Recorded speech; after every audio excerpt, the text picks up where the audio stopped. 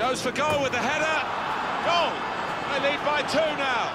Took the chance nicely, and that really has given them much more of a basis for the rest of this match.